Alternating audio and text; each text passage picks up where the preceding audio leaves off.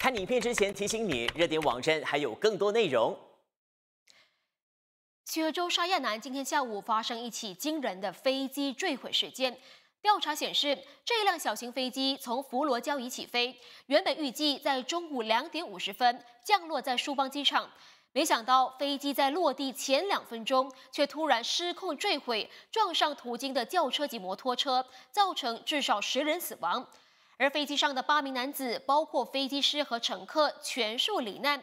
其中一名死者确定是彭亨州行政议员，同时也是博朗埃区州议员的佐哈里哈伦。消息传出之后，彭亨州议会议长穆哈默沙卡和西蒙文东国会议员雪弗拉也在社交媒体贴文证实这起噩耗，愿死者安息。民航管理局首席执行员诺阿兹曼指出，飞机在出事之前呢，曾经和苏邦空中交通管制塔台联系，并已经获得降落许可。飞行途中也没有发出任何的求救信号，一直到下午两点五十一分，塔台观察到坠毁地点冒出浓烟。这起空中事故也是我国近十年来发生的首宗小型飞机坠毁大道，导致民众身亡的案件。有目击者形容，失事飞机在坠机前疑似在空中多次盘旋，而网上也流传出多个飞机坠毁前的画面。爆炸产生的大火球瞬间吞噬整架飞机，喷射出残骸碎片，整个马路也陷入火海，场面犹如小陨石坠地，令人触目惊心。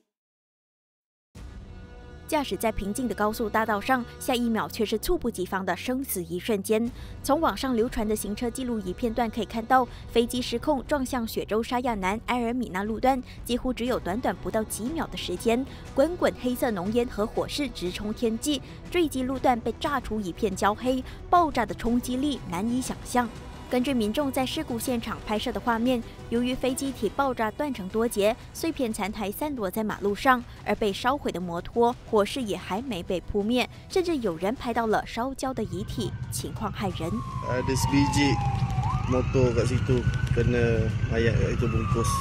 意外发生后，救护车和消拯局也第一时间赶到现场展开救援行动。警方也在现场拉起封锁线，并引来大批民众围观。路过的车辆被迫放慢车速，整条道路的交通陷入瘫痪。